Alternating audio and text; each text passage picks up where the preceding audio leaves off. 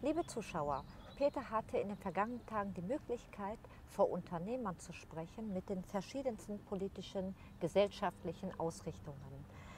Peter, möchtest du dazu einige Informationen schon vorab bekannt geben? Ja, es war eine Rede in Lüdenscheid. Äh, wir hatten ja im Vorfeld schon mal berichtet über die Firma Emilturk, äh, Alu-Druckgießerei, jetzt der Inhaber Axel Turk. Und ich hatte Gelegenheit, vor einer Reihe von Unternehmern aller Couleur eine Rede zu halten, auch vor Angestellten. Und hier ging es um gesellschaftspolitische Themen. Es waren auch das Thema Werteunion, Werteunion, Werteunion Förderverein und Werteunion Partei. Äh, hier sind ja nun sehr kritische Verlautbarungen äh, zugange, äh, die auch absolut nachvollziehbar sind und wir werden denen auch weiter nachgehen. Aber ich hatte hier Gelegenheit, mir die Sorgen und Nöte anzuhören, denn das ist genau die Notwendigkeit, einmal nah dran zu sein. Und das unterscheidet uns von den herkömmlichen Politikern, dass wir sagen, wir sind nah dran, wir hören die Menschen, die Sorgen und Nöte und deshalb haben wir auch die Ausrichtung, die wirklich Millionen Menschen interessiert, weil wir sagen, wir gehen dorthin, wo es notwendig ist und wir verschließen uns nicht anderer Meinung. Aber hört euch einfach die Rede mal an und ich bin gespannt auf eure Kommentare. Also viel Spaß beim Zuschauen. Da kommt noch ein Porsche vorgefahren, da warten wir noch, ne? mit Alufelgen von Ihnen. Ne? Nehme ich an. Ne? Ja, schön, dass ich hier sein darf. Ich äh, habe der Bitte natürlich sofort Folge geleistet. Der Axel Turk hat mich angesprochen, dann habe ich mit Dr. Äh, Benno Mutter Sander gesprochen. Ja, äh, die mich noch nicht kennen, aber ich muss mich auch mal bedanken. Mitarbeiter von mir, das ist meine Partnerin, das ist die Petra und das ist unsere Manuela, die seit fast fünf Jahren jetzt diesen Leidensweg der freien Meinungsäußerung mitmachen. Und das ist nicht immer einfach. Also ich denke mal, die Damen haben mal einen Applaus verdient. Mich sieht man immer vor der Kamera, aber das sind die Damen hinter der Kamera und die wirklich die Kommentare, die Mails bearbeiten, zusammen mit dem Team und die das Team zusammenhalten. Es gibt noch mehr. Und es ist ja nicht immer leicht, heute seine Meinung zu sagen, wenn man danach noch öffentlich auftreten möchte. Was uns hier eint, ist eigentlich der Wille für politische Änderungen. Sonst würden Sie am Samstagnachmittag Dortmund spielt erst um 18.30 Uhr, Leverkusen wird Meister. Also die Dinge sind vergeben. Deshalb habe ich mir auch einen zweiten Wohnsitz in NRW geholt, weil Bayern dieses Jahr mal nicht Meister wird. Aber was uns eint, ist der Wille, die Politik in Deutschland zu verändern, maßgeblich mitzugestalten. Und was ich immer wieder deutlich sage, nach demokratisch verfassungsgemäßen Umständen. Also wir haben nicht vor irgendwelche Umsturzpläne. Das ist das, von dem wir uns, da distanzieren wir uns von, ansonsten nicht. Aber wenn ich immer wieder höre, wir müssen das auf den Kopf stellen und das, das mag alles sein, aber wir haben ein funktionierendes Land und man möge sich vorstellen, wenn man das in dieser Form destabilisieren würde, das wollen wir nicht. Wir wollen eine Politikveränderung haben, die um 180 Grad, nicht um 360 Grad, aber um 180 Grad. Kurz zu meiner Person. Der Axel Turk hat mir gefragt, was ich für ein Jahrgang bin. Ja, ich bin 70 Jahre alt, der, wahrscheinlich der Methusalem hier in dem Lande, in dem. Und äh, mache das Ganze aus Patriotismus. Ich habe meine Firmengruppe seit 42 Jahren. Ich mache das nicht des Geldes wegen. Da wird manchmal gesagt, im Netz, der, der Grauhaarige, der macht es, weil er Geld sammeln will. Glauben Sie mir, äh, wenn Sie 42 Jahre eine Firmengruppe haben, das meine ich jetzt nicht überheblich, sondern dann haben Sie verdient, wenn Sie sich zur Ruhe setzen würden. Aber ich mache das für meine verstorbenen Eltern, für die Großeltern, weil ich einfach sage, ich will dieses Land nicht Linksideologen überlassen, die in irgendwelcher Form das, was wir an Substanz aufgebaut haben, hier alle, die hier sitzen und wie wir vorhin vom Axel Turk gehört haben, wie der Mittelstand hält das Ganze aufrecht, ich will das nicht kaputt machen lassen. Und was ich vergessen habe, ich begrüße, ich glaube, die junge Dame hier vorne ist von der Presse. Ja, begrüße Sie. Schön, dass Sie hier sind. Also, und äh, die, die äh, Peter Lohmann ist auch da, hallo. Ja, hallo, ja, genau.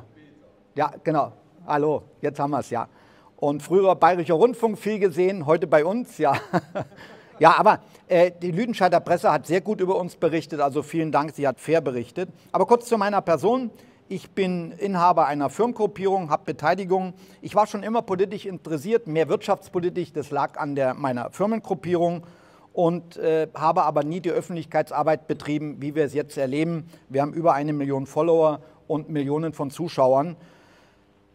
Ich habe angefangen seinerzeit, ich habe eine Leasinggesellschaft und war früher bei der Deutschen Leasing und für mich war das Wort alternativlos nie so prägend. Wir haben immer Alternativen gehabt. Ich war fünf Jahre im Ausland und wenn ich zu meinem damaligen Arbeitgeber der MAN gesagt hätte, es ist alternativlos, da hätten die gesagt, da bist du der Falsche. Wir brauchen Improvisationsgabe und wir brauchen Möglichkeiten. Moment, ich hebe das mal auf. Und wir brauchen Möglichkeiten, die immer Alternativen offen lassen. Diese Alternativlosigkeit, viele von Ihnen werden sich daran erinnern, fing an mit der Lehman Brothers Pleite. Da habe ich gesagt, das ist alternativlos die Bankenrettung. War okay, wenn das alternativlos ist. Wir haben uns früher viel über refinanziert über die Sparkassen und die Sparkassen sind Tochter der Landesbanken. Und dann haben wir uns das angeschaut und haben gesagt, mein Gott, was haben denn die alles refinanziert? Die sind eigentlich für den Mittelstand zuständig, war alternativlos. Das heißt, der Mittelstand hat das erste Mal gelitten. Der Mittelstand hat nämlich dann das ausbaden müssen, was die Landesbanken versaut haben. Die haben nämlich Kredite nach Amerika vergeben. Nach Florida von der Standrütte haben die refinanziert mit zweieinhalb Millionen. Die waren halt einfach zufrieden, haben gesagt, wir haben eine Ratingagentur, das passt. Wir hatten bis äh, 31.12.2022 eine Bankenzulassung, eine, eine BaFin-Zulassung. Wir wissen, was es bedeutet, heute Geld zu bekommen und unter welchen Maßgaben. Wir haben aber auch erlebt, wie leicht das Geld dann verschleudert wird. Und wenn Sie fragen, wie kommt der Weber dazu, dass der eigentlich an die Öffentlichkeit gegangen ist, 2018 bin ich mit Freunden von einer Segeltour zurückgekommen und jeder auf dem Schiff, wenn wir abends zusammensaßen, wir haben jetzt keine Stammtischparolen gesagt, Parolen gesagt, nochmal deutlich für die Presse, wir haben gesagt, Ausländer raus, sondern wir haben über eine Situation diskutiert, was geschieht gesellschaftspolitisch in Deutschland. Und da haben die Leute immer gesagt, durchaus mit geistigem Hintergrund, das kann man ja nicht sagen und das meine ich nicht so. Da habe ich gesagt, wieso kommt ihr dazu, dass er sagt, das kann man nicht sagen, das meine ich nicht so. Wir diskutieren doch ganz offen. Und da bin ich im September 2018 an die Öffentlichkeit gegangen als völliger Newcomer mit einem Video, Handy gemacht und äh, ja, habe dann gedacht, na, wem interessiert denn das? Und habe so ein bisschen über die politische, gesellschaftliche Lage berichtet. Das war an einem Samstag. Sonntag äh, ruft mich ein Freund an und sagt, du hast 462.000 Aufrufe. Ich habe das für einen Witz gehalten. Und nach einer Woche waren es 5 Millionen. Lange Rede, kurzer Sinn. Und es war dann so, dass wir dann nach anderthalb Jahren oder nach einem Jahr hat man Hoffnung in uns gesetzt. Man hat gesagt, der hält seine Birne in die Kamera, der ist glaubwürdig, der drückt, drückt Dinge aus, die wir denken und wir trauen uns das nicht zu sagen. Und so ist Hallo Meinung entstanden. So habe ich Hallo Meinung gegründet und nochmal, die Mitarbeiter sind von Anfang an dabei. Meine Partnerin und unsere Manuela leisten eine super Arbeit und auch die anderen Herrschaften im Hintergrund, die durchaus Samstag, Sonntag arbeiten, um einfach zu redigieren, um den Laden sauber zu halten und nicht, dass man irgendwelche Menschen dann hat, die Parolen ausgeben, die nichts mit unserer Meinung zu tun haben weder was die Migration angeht, noch was die Regierung angeht. Das sind alles Menschen und wir sollten eines lernen, die menschliche Sprache und die Umgangsform sollten wir beibehalten. Und das wird allzu oft, geht es verloren und leider Gottes, und das sage ich in aller Deutlichkeit, leider Gottes macht es uns die Politik vor, in welcher Form manchmal da diskutiert wird. Ich möchte Ihnen heute, uns gibt es im Oktober fünf Jahre, wir haben knapp, wir haben über 3200 Sendungen gemacht, ich möchte Ihnen heute Erfahrungswerte näher bringen, die Ihnen bei der Werteunion und bei der Werteunion Partei auch helfen können, Dinge zu sehen, Dinge zu werten und Dinge umzusetzen, die Ihnen nicht äh, so negativ widerfahren, sagen wir mal so, nicht wie bei der ganz so glücklichen Gründung der Partei. Und das äh, drücke ich jetzt eher etwas vorsichtig aus. Die Entwicklung war halt so, wir haben, wir haben äh, 3200 Sendungen, am Anfang mussten wir auch lernen. Das heißt also, was habe ich gemacht? Ich habe mitunter mich äh, sehr wütend geäußert, aber die Reflexion war, dass wir hatten sehr viele Zuschauer, die haben uns dann auch so zurückgeschrieben. Und dann haben wir gesagt, das tut uns nicht gut, denjenigen, der Moderator, meine Person und dem Team, aber wir wollen auch andere Menschen. Also haben wir uns so nach und nach umgestellt, haben gesagt, Moment, es muss qualitativ besser werden. Nicht bloß in der Technik, sondern es muss unsere Aussage muss muss souverän wirken und sie muss nicht mit Schaum vorm Mund. Und das hat eines gezeigt vor dreieinhalb Jahren, die Qualität der Zuschriften, die wir erhalten. Und äh, meine Partnerin wird es bestätigen, das sind nicht 100 oder 1000, sind Zehntausende, die werden qualitativ immer besser. Also Menschen mit einer hohen gesellschaftlichen Würdigung. Ich spreche jetzt nicht von Doktores oder Rechtsanwälten, die sind auch mit dabei. Aber ich spreche von allen Gesellschaftsschichten, die uns zur Kenntnis geben, wie sie sich fühlen, was man tun kann und äh, das ist etwas, das erfreut uns doch sehr. Eines darf ich Ihnen sagen, wir sind ja sehr viel in den Länderparlamenten und im Bundestag unterwegs. Und wenn Sie in dem Metier Bau und Leasing unterwegs sind, und ich mache das jetzt, ich habe bei der Deutschen Leasing 77 angefangen, also da ist schon keiner mehr, lange schon nicht mehr aktiv, Aber ich habe immer gedacht, ich bewege mich da im Haifischbecken. Aber was ich in den Länderparlamenten und was ich im Bundestag kennengelernt habe, wissen Sie, was das Hauptproblem ist? Eitelkeit und Narzissmus. Eitelkeit und Narzissmus. Und dann kommen erst die Fraktionszwänge. Aber was Sie dort erleben, was dort äh, letztlich passiert, das ist manchmal wirklich schon erschreckend, weil ich mir sage, Moment, die regieren in NRW, die regieren in Bayern, beispielhaft jetzt natürlich auch in anderen Bundesländern oder im Bundestag. Sie sind erschrocken, a, über die Kompetenz und b, über die Eitelkeit bis hin zum Narzissmus. Ich kann Ihnen einen wichtigen Rat geben für diese Partei oder für die Werteunion Förderverein und daraus begründet die Partei. Sie müssen Profil haben. Es muss Profil vorhanden sein. Und was ich bis jetzt nicht, ich bin Außenstehender, ich gehöre weder der AfD an, noch bin in der Werteunion, aber Sie müssen Profil zeigen. Und dieses Profil muss für den Menschen, der Interesse an dieser Partei hat oder am Förderverein, muss erkennbar sein. Und dieses Profil wird nicht erkannt, wenn Sie sich ständig distanzieren. Und wenn Sie sich distanzieren und sagen, aber da machen wir nichts und da haben wir, wir haben zwar keine Brandmauer, aber wir machen das und das, denn Sie haben Aussagen, die sind oft so. Das heißt also eine klare Aussage, wo wollen Sie hin, was stellen Sie sich vor und äh, dann können Sie auch Wähler gewinnen, a. Nichtwähler und b. Wechselwähler. Das ist ja das, was in erster Linie dann der Fall sein soll, denn der Kuchen hat 100 Prozent und von den 100 Prozent können Sie nicht mehr erzielen. Und wir erleben ja jetzt gerade jetzt in Thüringen, ich glaube, äh, ja, heute dieses Wochenende, ist ja der Landesverband und äh, da wird ja der Spitzenkandidat für Thüringen gekürt. Das soll ja Hans-Georg Maaßen sein, der ja oft bei uns Interviewgast ist. Ich sage Ihnen eines, ich kann mit einem Menschen streiten, aber ich schätze die Person Hans-Georg Maaßen. Das muss ich sagen, ich schätze ihn mit seiner Kompetenz, ich schätze ihn, bisher hat er bei mir Wort gehalten und wir haben auch noch Dinge vor, die werden viele überraschen. Und das ist auch das, was ich abverlange, weil die Menschen sagen, Weber, pass mal auf, wir glauben dir, wir vertrauen dir. Und äh, welchen Weg haben die vorzugehen? Und das ist das, was ich Hans-Georg Maaßen abverlangt habe. Und de dem Weg wird er auch gemeinsam gehen. Aber es sind am Anfang Fehler gemacht worden, ohne Zweifel. Und die Fehler waren dann so, die waren so, man muss darüber reden, dass äh, unsere Redaktion hat gesagt, stimmt es, was da gesagt wurde? Stimmt es, was der Mitch gesagt hat? Stimmt es, was, was gesagt wurde, unser Premium-Partner? Es ist wahr. Nur muss man eines sagen. Die Sensibilität dessen, was eine Werteunion oder jemand von der AfD sagt, hat einen wesentlich höheren Betrachtungscharakter, als das jemand von den anderen Parteien sagt. Das heißt also, man achtet hier auf kleinste Fehler und diese kleinen Fehler werden dann entsprechend potenziert.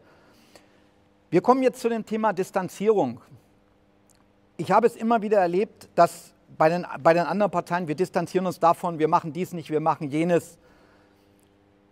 Diffamierungen werden immer stärker werden, je höher die Umfragewerte sind. Wir erleben das jetzt bei einer Partei, die wird diffamiert bis zum geht nicht mehr. Wie gesagt, ich gehöre dieser Partei nicht an, aber ich habe eine sachliche Betrachtungsweise.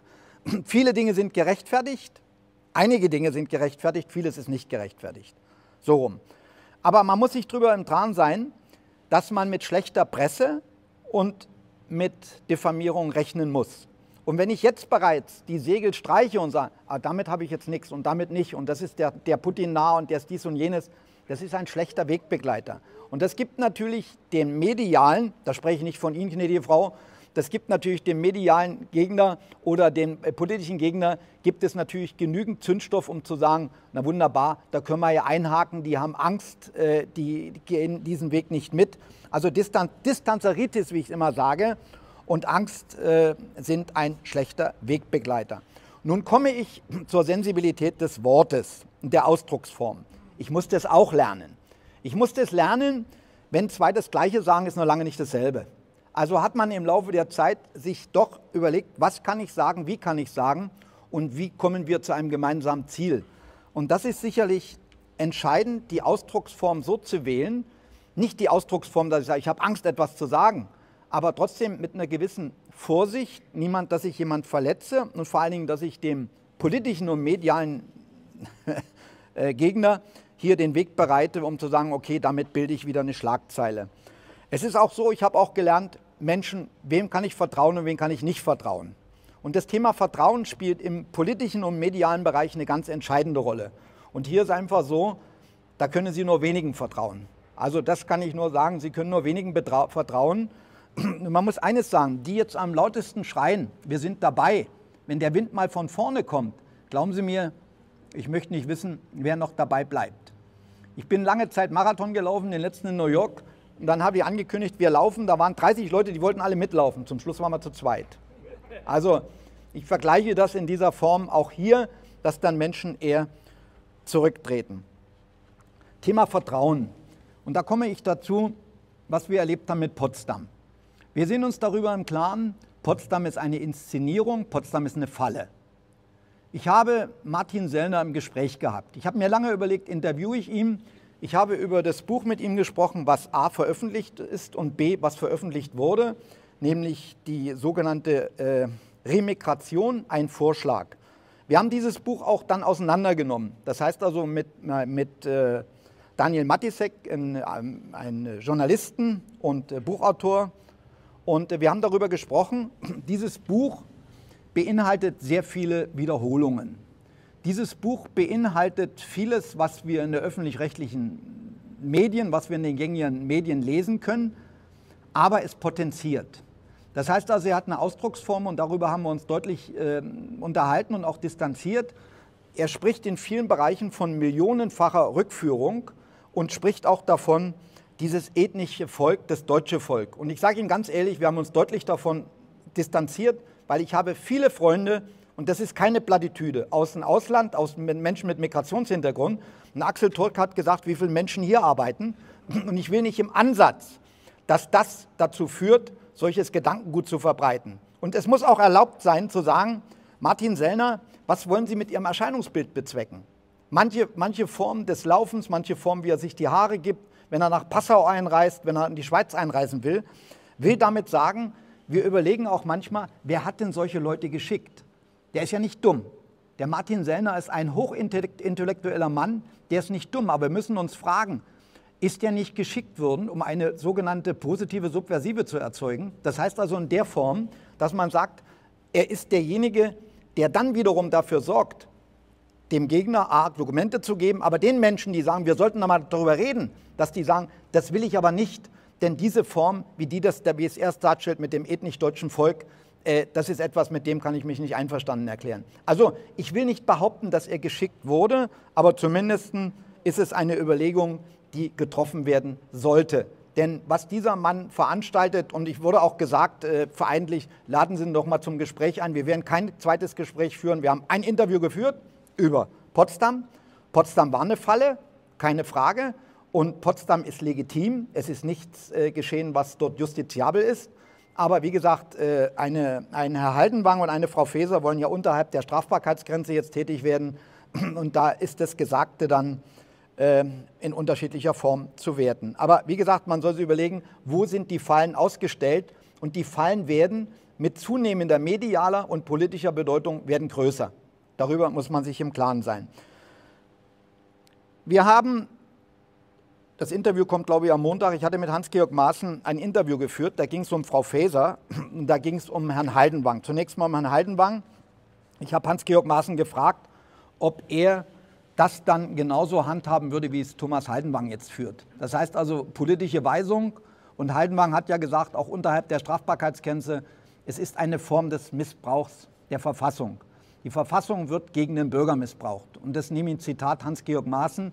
Das heißt also, Hans-Georg Maaßen hat gesagt, ich würde es in dieser Form nicht so, er hätte es nicht gemacht. Und in dieser Form dessen, was wir hier erleben, liegt natürlich eine Riesengefährlichkeit, ein Gefährdungspotenzial. Wir haben auf der einen Seite haben wir das, was Haldenwang sagt, und auf der anderen Seite haben wir ein verändertes Disziplinarrecht seit 1. April. Ich weiß nicht, ob die meisten das kennen.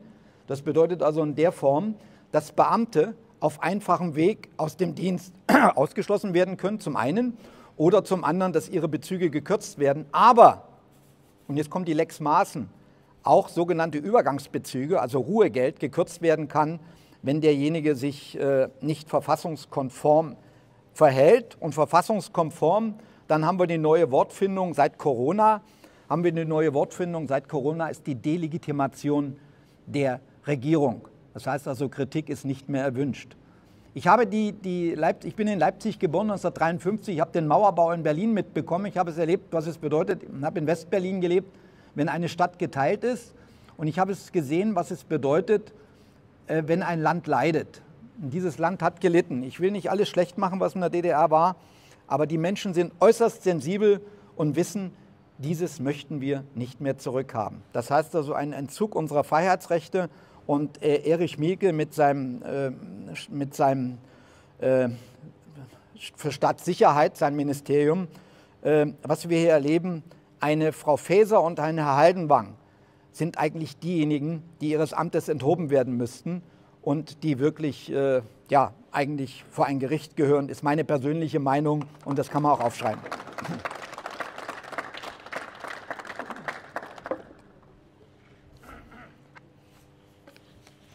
Nun lassen Sie mich zur Werteunion Partei kommen.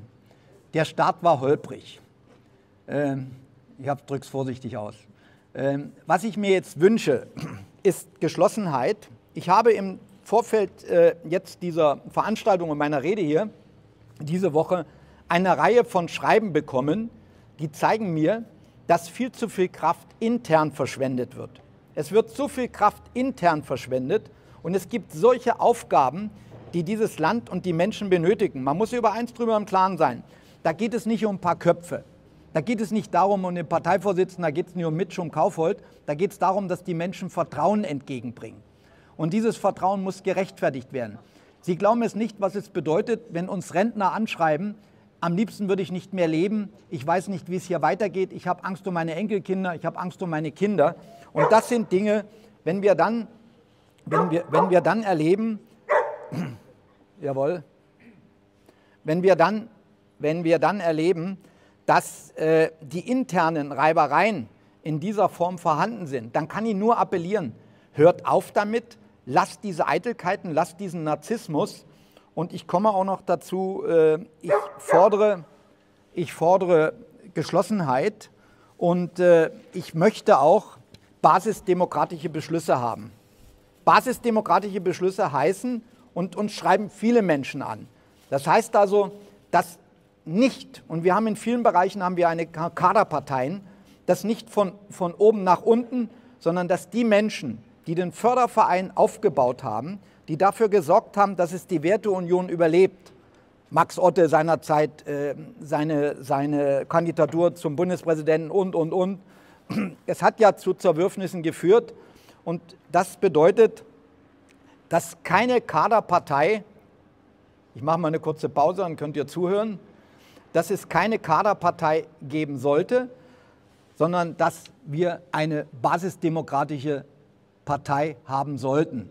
Ich weiß nicht, ob Sie mir da zustimmen, aber es muss so sein, dass man nicht vor vollendete Tatsachen gesetzt wird, sondern eine Identifikation kann nur stattfinden, wenn alle Bescheid wissen, das heißt, ich kann nicht verlangen, dass nun zigtausend Mitglieder jetzt ständig dabei sind, aber zumindest sollte es ein Informationsfluss sein, der an Transparenz nichts offen lässt. Das ist der Wind, der an Transparenz nichts offen lässt.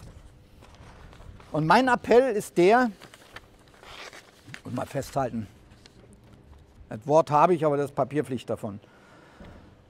Mein Appell, es sollte Schluss sein mit den Diffamierungen. Ich habe gelesen, was es bedeutet, wenn man heißt, die sollten nicht aufgenommen werden, die sollten nicht aufgenommen werden.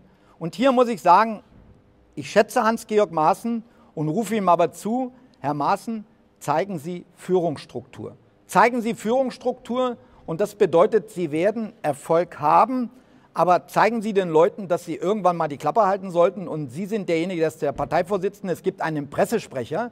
Dieser Pressesprecher soll Verlautbarung von sich geben.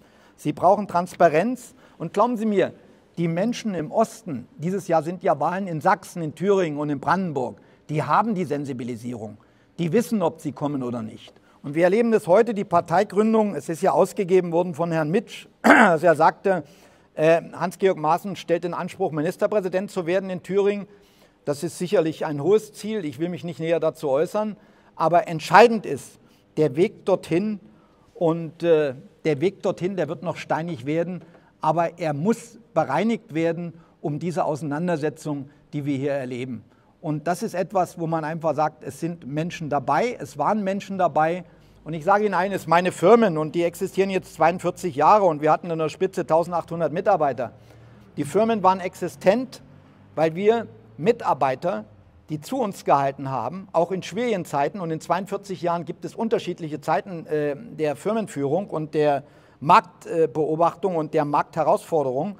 Aber diese Mitarbeiter, die sind bei uns geblieben und diese Mitarbeiter haben wir auch entsprechend gefördert. Und meine Geschäftsführerin, meine Partnerin weiß es, die hat jetzt gerade 25-jähriges Jubiläum gehabt. Und ich halte es für absolut notwendig, dass man Menschen, die in stürmischen Zeiten die Werteunion aufrechterhalten haben, den Werteunion, den Verein, dass die auch jetzt Berücksichtigung finden und nicht zur Seite gestellt werden. Denn das,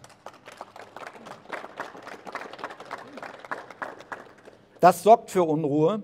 Und ich darf Ihnen eines sagen, ich spreche noch nicht drüber, aber wir werden nächste Woche, so Gott will, werden wir nächste Woche eine Zusammenkunft haben, auch wieder mit Hans-Georg Maaßen. Und ich denke, die wird, oder ich sage nicht, ich denke, ich weiß, die wird sehr viele Menschen überraschen. Das war etwas, wir sind ja aneinander geraten. Also das habe ich jetzt nicht aufgeschrieben, sondern wir sind aneinander geraten. Wir waren abends zum, wollten wir zum Essen gehen zum Italiener. Da manchmal langt es. Die Menschen schreiben mir an, Weber, du machst da Interviews mit ihm und das, wir werden doch da verschaukelt und, und, und. Und dann war ich sauer. Vorm Essen habe ich das gemacht und das ist gleich eine Million Mal aufgerufen worden. Und dann hat Hans-Georg Maaßen, und das schätze ich als Mann und Charakter, dann hat Hans-Georg Maaßen mich angerufen und gesagt, Mensch, was ist denn los und, und, und. Dann sage ich, also aus dem einfachen Grund, ich habe die Schnauze voll. Wenn ich das sehe, was Sie da für Verlautbarung und wen Sie da holen, ja, sagt er, was können wir machen? Ich sage, dann lassen Sie Folgendes machen. Wir haben etwas vor, das sage ich jetzt nicht, das ist eine große Überraschung. Aber dann sagt er, kann ich denn mit Ihnen, kriege ich denn noch vorher ein Interview? Sagt, das machen wir bevor Sie äh, ein paar Tage nicht da sind. Dann haben wir dieses Interview gemacht und das schätze ich, wenn man sich um die Sache streitet, aber vom Ziel her einig ist. Und das ist den Appell, den ich an alle habe. Das Ziel ist eine politische Veränderung in diesem Land, die wir bitter notwendig haben. Denn das, was die in den letzten, was, was Merkel schon angerichtet hat, setzt sich ja jetzt in Potenz fort. Und ich sage Ihnen, das dauert, wenn das so weitergeht, mit Sicherheit anderthalb Generationen, bis das bereinigt wird. Denn die Arbeitsplätze, lieber Axel Tuck, die Arbeitsplätze, wenn die einmal weg sind, die kommen nicht so schnell zurück. Darüber muss man sich im Klaren sein. Und mein Appell, lasst uns zusammenhalten. Wir können unterschiedliche Wege gehen, aber das Ziel ist gemeinsam. Und auf diesen unterschiedlichen Wegen, lasst uns konstruktiv streiten, aber lasst uns niemals personifizieren und lasst uns niemand ausschließen. Ich danke, dass ihr hier wart. Danke für die Aufmerksamkeit. Ja.